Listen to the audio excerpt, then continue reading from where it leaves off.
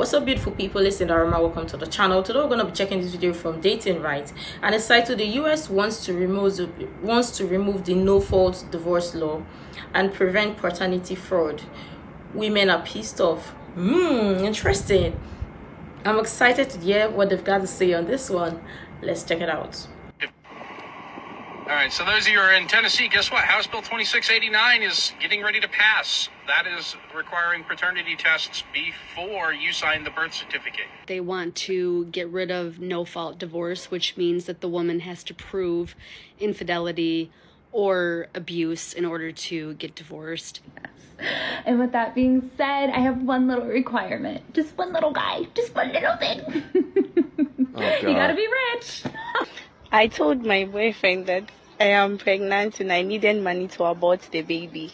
But actually, I gave the money to another guy that I love. I ain't never seen a man that I need. You're all replaceable. Don't ever get too comfortable and don't ever think otherwise.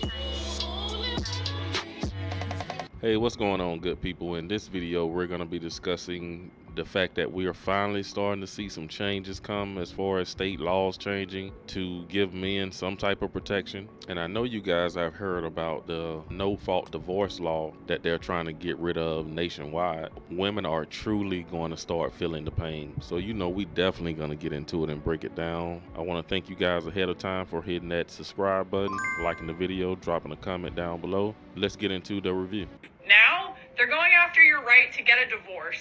Oh, ladies, welcome to the consequences of your own actions. Like y'all say all the time, we're in a patriarchy. That men control everything and we have all the power. Well, if that's true, did you really think we were going to go on letting you make divorce or profit in industry? Mm. We gave y'all power. And don't get it twisted. You didn't get it. We mm. gave it to you. But the problem is that power we gave you, you're abusing mm. it. As of now, women are initiating nearly 80% of the divorces. And the vast majority of them have no cause other than you someone else. And that's fine. I think you should have the right to do that. But I also think that if you want a divorce without cause, you shouldn't get dime.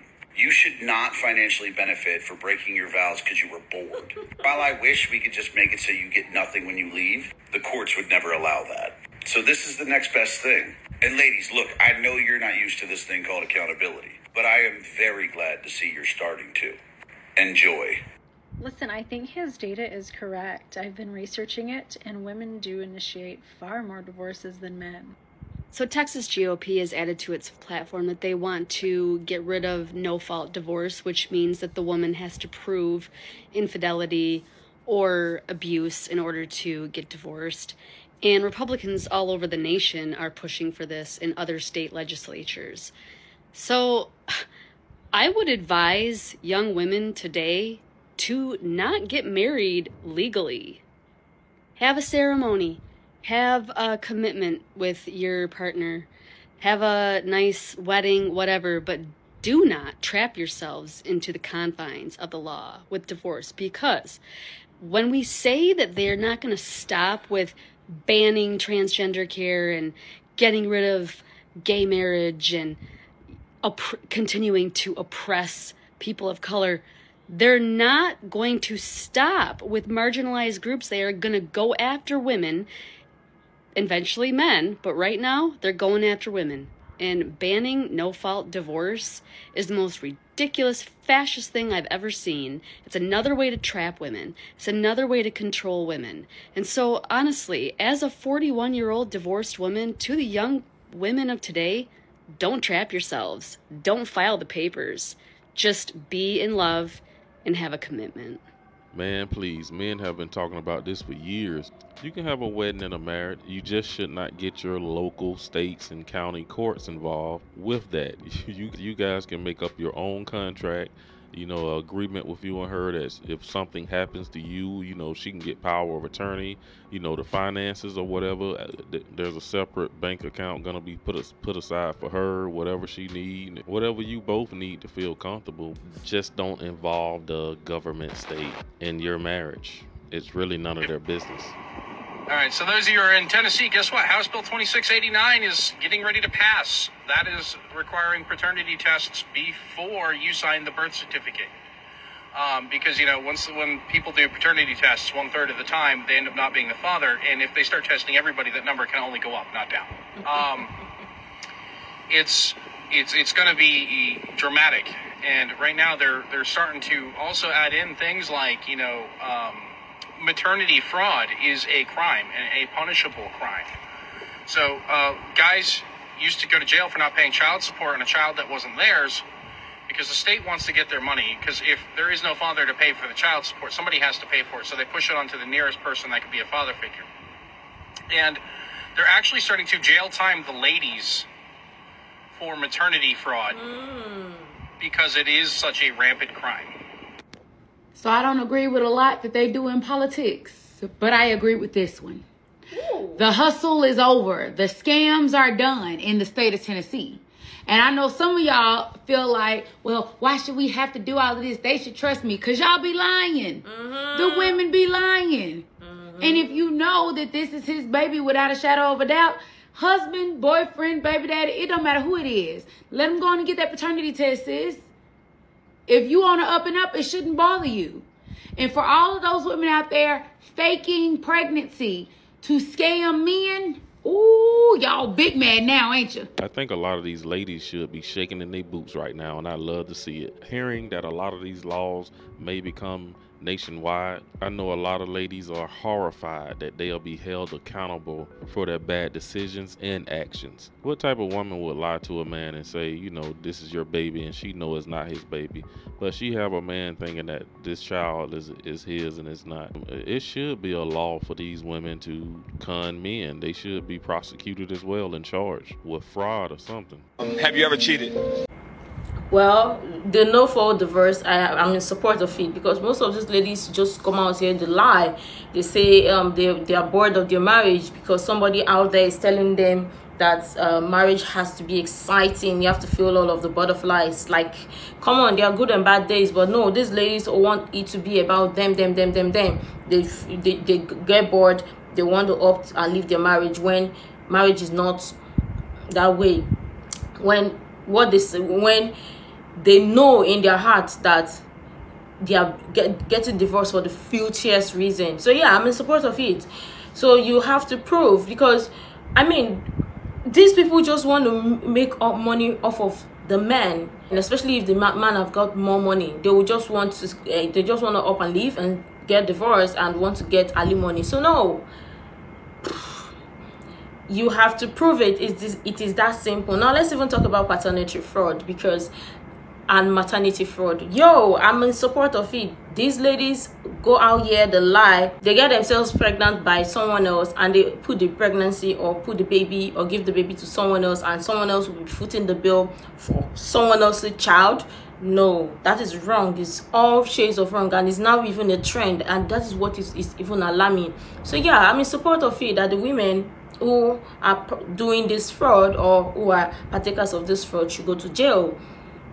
It's that simple because why give someone else your baby when you know that is not the the father of your child? Why why not give it to the right father of the child? But of course these ladies don't want to be held accountable. So of course.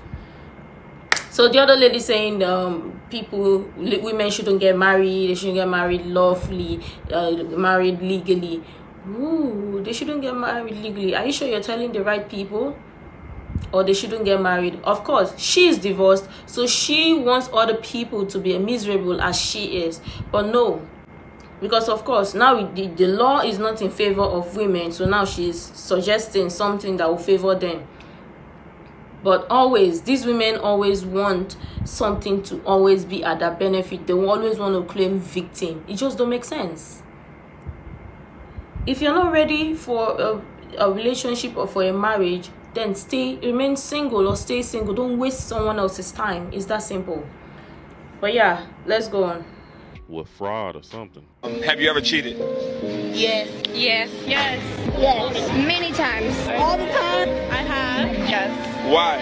Because we're bad bitches and we need to show the world. So currently you have a main Mm-hmm. and some side hoes. It's like background characters. Some side hoes. Okay. How many background hoes do you have?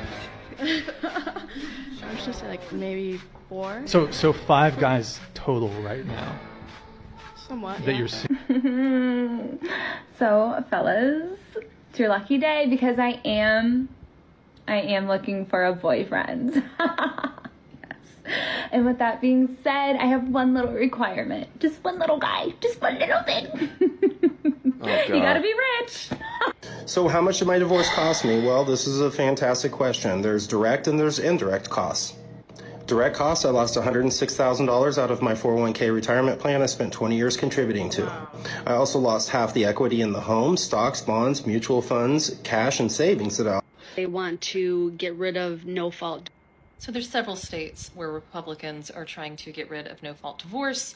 If you're not familiar with no-fault divorce, this is the thing where you cite irreconcilable differences. Neither of us committed fraud, neither of us committed adultery or abuse or neglect, but we just don't want to be together anymore. So they're trying to get rid of that. get rid of no fault divorce, which means that the woman has to prove infidelity. But let me tell you why this is a problem, a, a big problem.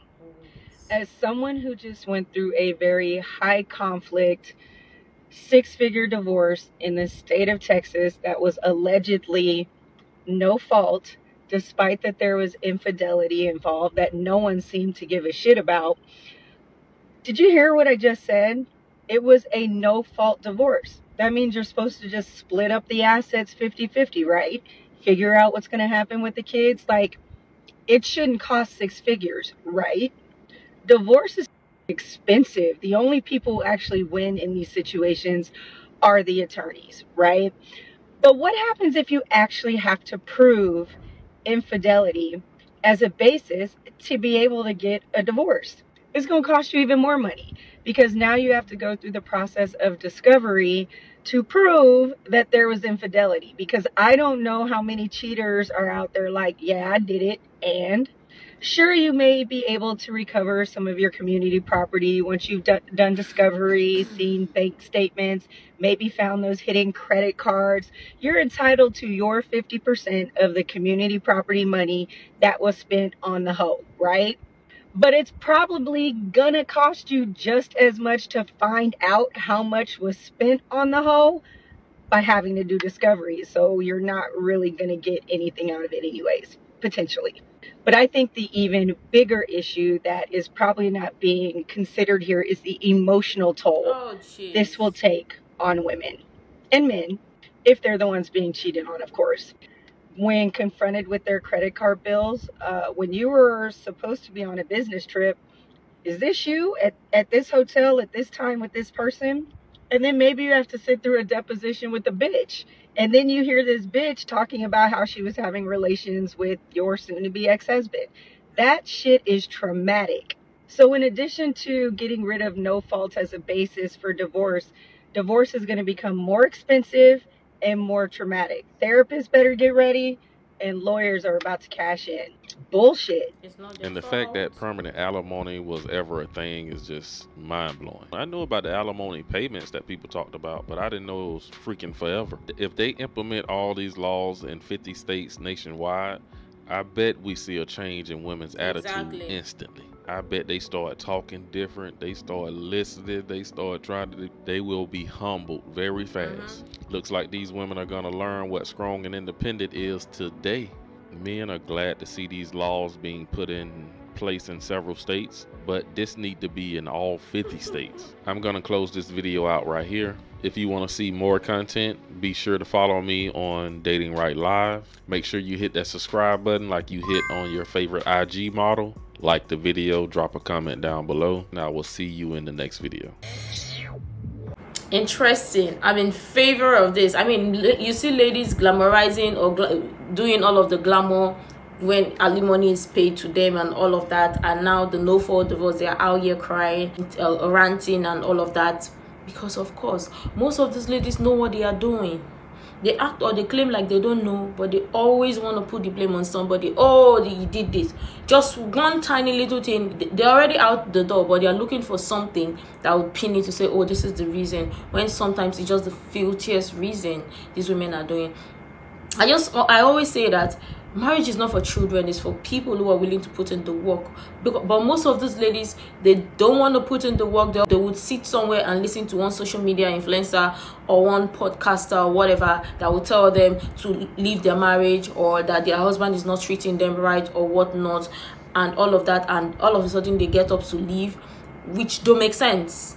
So yeah I'm in favor of these laws. So now these women will, will know what it means to be accountable. I mean, if you want to be strong, independent woman that don't need a man, then stay in your lane. But for those that say they want to, they need a man or they want to be with a man, and they are not ready to put in the work or they just want the incentive or whatever benefit that comes with it, please, if that is your plan, stay one side or stay and move to the side of the strong, independent women and let those who are willing to put in the work or who are willing to be married be married it is that simple. But of course since these women don't want to be held accountable then this would work for them. But yeah i'm sure tons of people have got different opinion regarding this and i really love your honest contribution to this. You can share the useful information and think might be really helpful. Make sure to like comment and subscribe and all of that stuff. And until next time see you in the next video